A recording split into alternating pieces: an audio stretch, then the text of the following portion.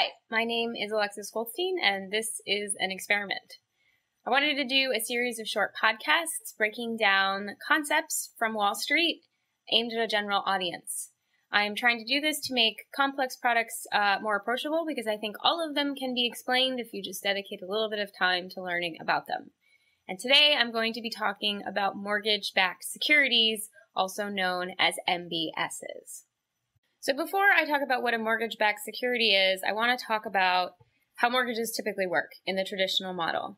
So you want to buy a house, you borrow some money from the bank in the form of a mortgage home loan, and then every month you pay them some uh, amount of the principal back, and you also pay them some amount of interest uh, to compensate them for giving you the loan. And in the traditional model, the bank keeps the mortgage on their books, and so they are pretty picky about who they give mortgages to because they don't want to be at risk of somebody defaulting on their mortgage. And so that's what we call the traditional model. Now, a bank might have a whole bunch of people that have mortgages with them, and so there might be a whole bunch of homeowners that are paying into the bank on a monthly basis, paying their principal and paying their interest, and the, but the bank still would hold all of the mortgages inside the bank on their books.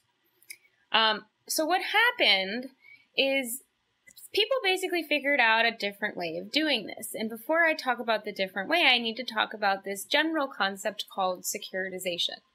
And what securitization is, is when you take something that isn't tradable, like a mortgage, and you turn it into something that is tradable. Something, and when I say tradable, I mean something that can be bought and sold through financial participants, through an investment bank like Goldman Sachs or Morgan Stanley.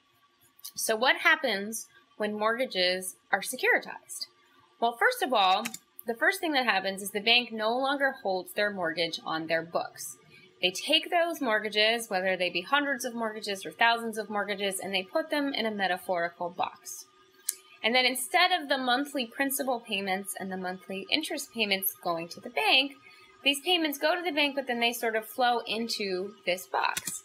And this box is what we call a mortgage backed security or an MBS for short. So you can think of an MBS as a box of hundreds of mortgages or thousands of mortgages where the interest payments and the principal payments flow into that box. But that's not quite the end of the story uh, because what happens is that money passes through the mortgage backed security and on to investors. And this is why I mentioned securitization. Because now that it's in this box, this box is now a tradable thing. Investors can buy a piece of that box so that rather than the bank getting the monthly payments, the investor gets the monthly payments. And it's usually not just one investor that buys the whole thing, but there will be multiple investors that all have a piece of this mortgage backed security. Um, and what I skipped on the previous slide was this uh, picture of the investment bank which is often somebody that helps assemble this mortgage backed security in the first place. They might help to structure it and put it together and to actually securitize the mortgages in the first place. Um, and so, in this model, there is uh, it's a little bit different than a CDO because in a CDO, different investors might get a different interest rate. In the mortgage backed security model, all of the interest payments pass through onto the investors. And so every investor would get the same percent, the same rate of return on their investment. So that's a mortgage backed security. It's 100 mortgages, 1,000 mortgages. You put it in a box, you move it out of the bank and into this structure, and then investors buy pieces of the structure. And then, unbeknownst to the homeowner, their principal payments are no longer going to the bank, although they may pass through the bank. They're going to the investors who bought this mortgage backed security. Now, before I wrap this up, I just want to talk about why this happened, right? Why did we move from this model where banks were holding these mortgages on their books to a model where banks were offloading them into these boxes, into these mortgage backed securities that could then be bought and sold? So the first thing I want to talk about is the risk of default, which might you might think that's the main reason why we moved off of this model. So if a person defaults on their mortgage, they no longer pay the interest and the monthly payments because they say they can't make the payments.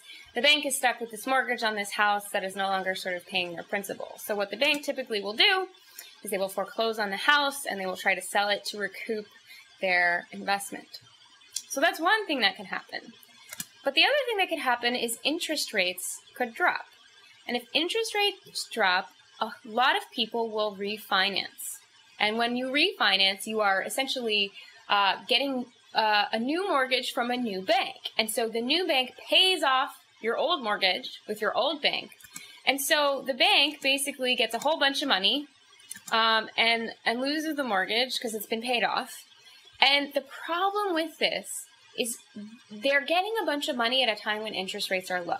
And the reason that that is not ideal for the bank is when you're sitting on a bunch of cash and interest rates are low, there isn't a really clear place to invest your money. Because if you invested in treasuries or you invested in whatever, you're going to get a very low rate of return.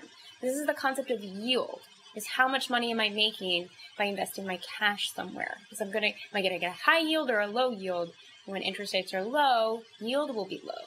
So really the thing that people were concerned about is prepayment, the risk of prepayment, and the risk of getting your money back sooner than you wanted to get it back. So, what securitization was meant to solve was two things. First, it was meant to get rid of this risk of the banks holding these mortgages on their books. They no longer had to worry about people defaulting, so they could, in theory, give out mortgages to whoever they wanted, whether or not they were creditworthy. Um, and they would just pass that on into this mortgage backed security that somebody else would buy and somebody else would worry about. The other reason that this was popular was the thought of bundling these mortgages together into a pool, into a big security where there are hundreds of mortgages or thousands of mortgages in a box is you reduce the risk of prepayment because even though one person might prepay their mortgage, chances are hundreds of people or thousands of people who are all together in this pool of mortgages are not going to all prepay at the same time. And so you reduce the the sort of risk that there would be lots of prepayments and you would get back your money at a time when interest rates were low. What people didn't really consider, and part of the reason the financial crisis was so severe, is no one really thought that Americans would default in mass on their mortgages, right? The idea was, first of all, it's very rare that people default, or at least that was the thinking. Number two, if they were to default, chances are all of America wouldn't default at once.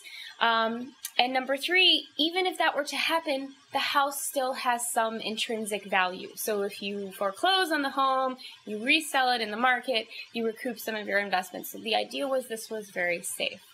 Of course, what people weren't banking on was this fact that there was this bubble and that home prices were inflated and people were taking out mortgages at the peak. And of course, there was all of this predatory lending going on, and so people were being tricked with these bait and switch rates and these liar's loans. Um, so all of this factored in to a big bubble where home prices went like this, and the value of the mortgage-backed securities, which were presumed to be safe, uh, were not worth what everybody thought that they were worth. So just to rewind, mortgage-backed security, hundreds of mortgages or thousands of mortgages, you put it in a box, the interest rates pass through the mortgage-backed security and on to investors. And that is what a mortgage-backed security is all about. So thanks for watching. I mentioned briefly something called a CDO in this presentation. So the next podcast I will do will explain what a CDO is. It stands for Collateralized Debt Obligation. And the building block that you need to know about before you can understand CDOs are, you guessed it, MBSs. Really quickly before I sign off, I just want to put in a pitch for those of you in New York City you really should bookmark nycga.net. It stands for New York City General Assembly. I am really active with the Occupy movement and really suggest that any of you who have yet to dip your toe in the waters to give it a shot. There are orientations every Saturday at 2 p.m. at Union Square. There are lots of ways to get involved. Every Friday at 2 p.m., we go down to the New York Stock Exchange, and at 4 p.m. at the closing bell, we counter it with the People's Gong. I won't ruin for you what that is, so if you want to learn more, be there or be square. Until next time, I'm Alexis Goldstein, and this has been Behind the Wall.